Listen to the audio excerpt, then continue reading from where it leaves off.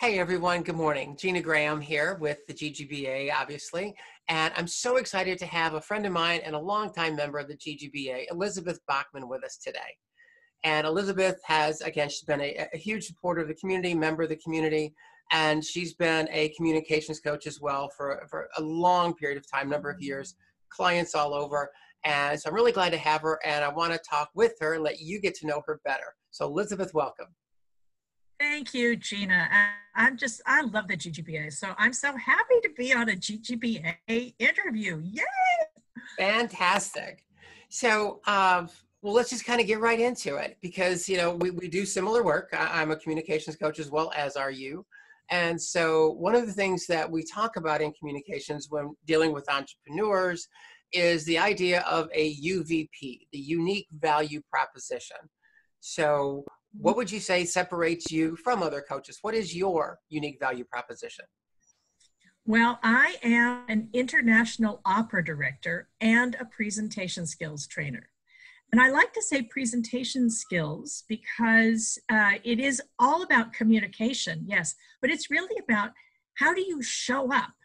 How do you show up in the room? And who you are in the room makes such a difference as to whether you get hired or listened to or anything like that. So, my unique value proposition is that I was um, international opera director for 30 years, uh, directing people like Luciano Pavarotti and Placido Domingo, everything down to uh, to teenagers walking on stage for the first time ever, pretty much everything in between. So I have a lot of grounding in how do you make a presentation that people will listen to. And then I ran a small opera company that was mostly for training students internationally, mm-hmm. located in Austria. So we were bilingual. We spoke German and English, um, and sort of a mix of the two, actually. So I have the business background as well. And um, and I really learned about presentation skills training or how to speak to get people to open their wallets when I started the opera company because it was a nonprofit and I had to raise the money and we didn't qualify for any grants. So I had to do it all by speaking. And that's where I learned. And I said, You mean there are tools? There are strategies? There's this art called public speaking? ah, I don't have to make it all up by myself, which is what I had started out doing. So, yay, there's a toolbox. I was so happy and it worked. Fantastic. So, so much of your career, as you say, has really kind of blossomed and grown from the mm-hmm. basis of opera. So, what is it about opera that drew you in, that that that made that such an important part of your life? You know, I was a theater kid. I grew up listening to opera, and I grew up loving the theater. Um, I like to think I've been dedicated to the art of great communication since I first walked on stage at the age of five. And my mom said that I was the best damn bunny rabbit ever to grace the stage of the hillside school. And I was hooked. so uh, I went from acting to directing to directing opera singers to running a company and now now to teaching people how to use all that experience, using all that experience to inform what people do. But it's all about making, moving an audience to, to do what you want them to do. So in business, it's you want them to approve, you to hire you or approve the project or motivate your team. In opera, you you want to sing to get the job if you're doing an audition. And once you've got the job you want to you want to move them to tears um, or move them to laugh which is harder. Comedy is way harder than tragedy. So all of that it's all that's why i finally rebranded a couple of years ago as strategic speaking for results because i start with what's the result you want to get and then we sort of reverse engineer from there interesting interesting yes knowing your audience and what do you want them to do that huge very much so mm-hmm. um, you know we're everyone's going through a rough time right now for a number of reasons. Uh, you know, COVID 19, the pandemic, uh, it's just one of the ways that our world has been turned upside down. And a lot of entrepreneurs, well, pretty much every entrepreneur that I think we're both well aware of, is having to reevaluate and to pivot. Mm-hmm. Uh, and in that regard, as you just mentioned, you were kind of a little bit in front of the curve on this when you did a pivot a couple of years ago, and you've also did a repivot or a pivot recently with a new program and a new podcast. So tell us a little bit about those two.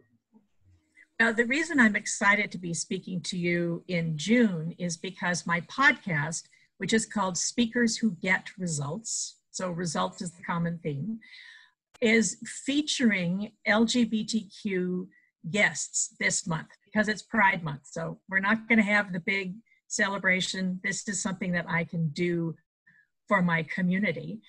And I was thinking about that, that picture that you have uh, that's actually up on the wall in the Terminal 1 at San Francisco Airport of Harvey Milk and the GGBA at one of the early gay parade festivals. Mm-hmm. And they're standing there in this little booth, and I think they had like a, an ironing board with some brochures on it. it was very early on, and a sign that said, um, artists, doctors, attorneys, et cetera, et cetera, et cetera, who happen to be gay.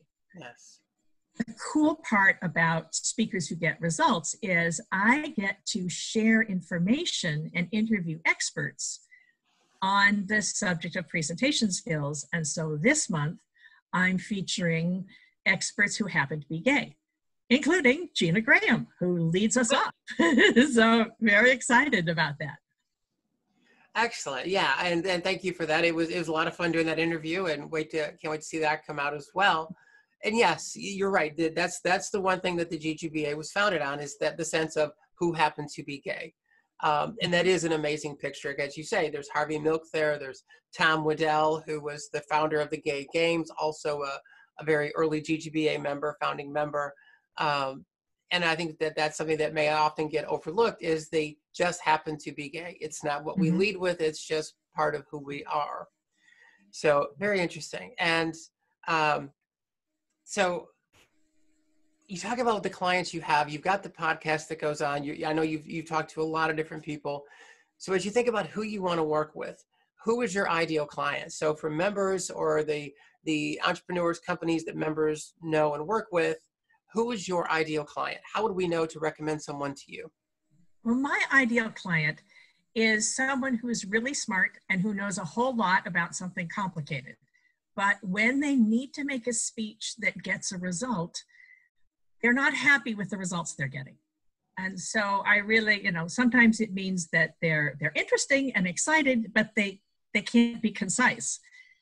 And sometimes it means that they can't really be compelling. So uh, really what i work on is how do you use speaking to position yourself? It is still talking live is the best way to move people to do what you want them to do. It just it just people perceive you in so many different ways. A lot of what I talk about on the podcast, Speakers Who Get Results, is we talk a lot about leadership because speaking is a tool and presentation skills are a tool. Whether you're presenting in a meeting and you're trying to convince people to do what you want to do, or you're speaking on a stage or you're giving a webinar or you're trying to get people to, hire you, anything like that, it's a cool, fun tool, but it is a tool. And so the key is what do you want this tool to do for you? And most of the time, it's about making a sale, which could also be selling an idea. You know, you're selling a product, a service, a company, or you're selling the idea that they should do what you want them to do.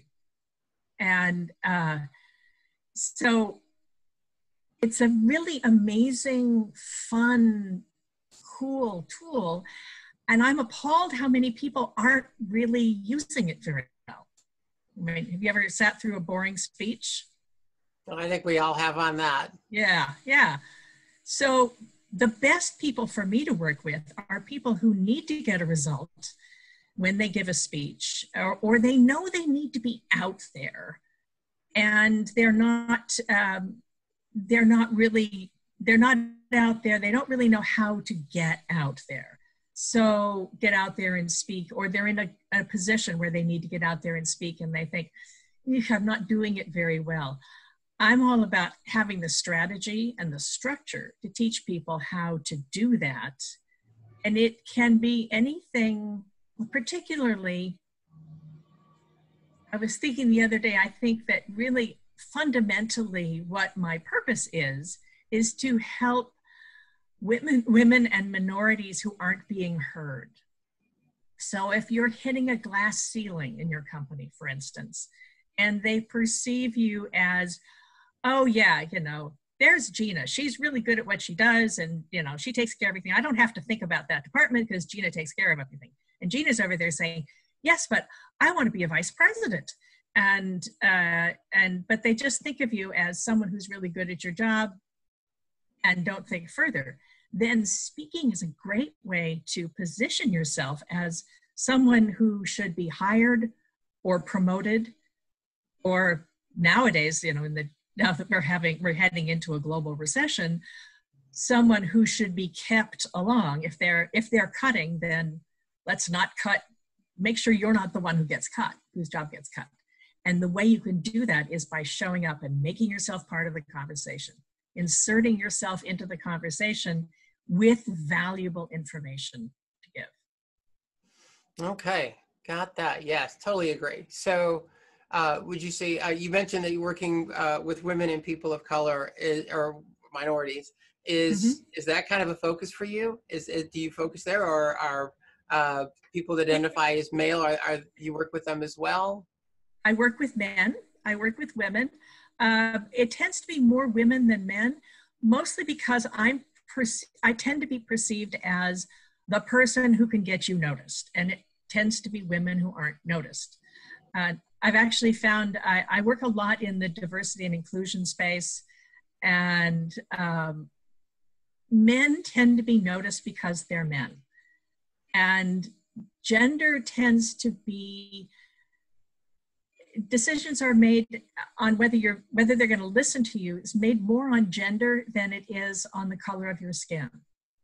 So um, i just did a wonderful interview with um, an amazing friend who is african american and gay and um, and has a corporate job. But a lot of things i said do you run into this? Do you run into this? And he goes no no because those are problems that women face not being heard he has enough hurdles to to jump being African American and gay, but the hurdles that the women run into, he never occurred to him.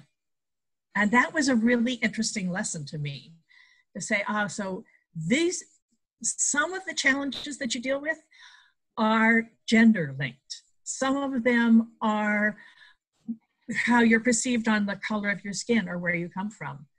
And sometimes it's just plain, we're in an international, sometimes the presentation skills are as basic as make sure you're speaking clearly because if you are speaking English to a group that all grew up elsewhere and English is their second or third language, they may not understand. So I do a lot of international work as well. And so that's another thing. I was thinking that. Oh, yeah. I'm sorry. Go ahead. Go ahead. No, no. I just I was just thinking that leadership and getting out there and speaking is is a big part of what I do. But I also really address what are the stumbling blocks, what are the challenges, whether and are if the challenge is that you're perceived as less than because of how you look. That's one thing. If you're perceived as less than because of your gender, that's another you know, I'm very aware that as a white lesbian, I I pass the corporate situation. You know, I hate using that phrase, but you know, a, a lot of the the issues that I have to deal with are not the same that my African American friends deal with, or my Latino friends, male or female. So it all depends on who you are and what your issue, you know, each person can make diversity an asset. It's a matter of being strategic about it. Got it. So when someone uh, when you when you take on new clients, what does this look like? Do you do groups? Do you do one on one? Are you doing in person? Do you do virtual? Uh, give us a little bit more sense of, of how you do what you do. Well, right now everything's virtual. And actually, because I work with people in lots of different time zones, most of the time I'm working virtually. If I can, if it is geographically possible and I could come and do your initial session with you in person, I will. Um, so the whole working from home thing was, that's pretty much what I do anyway.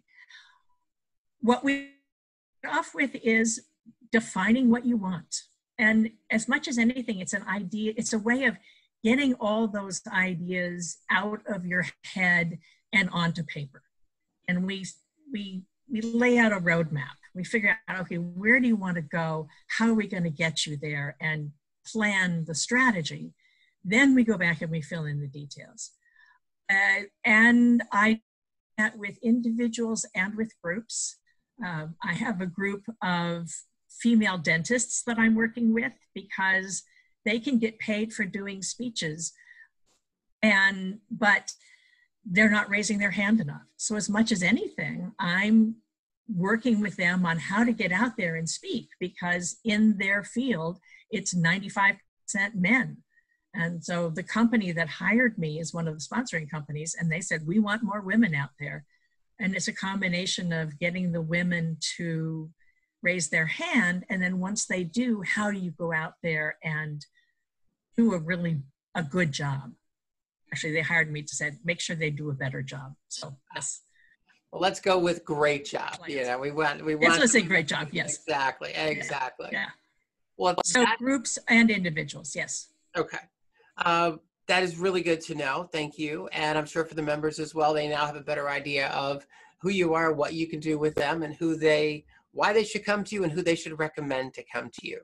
Uh, any final thoughts uh, before we have to go here on on strategic speaking for results in the podcast? Oh, yes. Well, I I believe that whether you're speaking to sell a product or you are enrolling a client or you're in a meeting doing a presentation in a meeting, it's all a sales speech.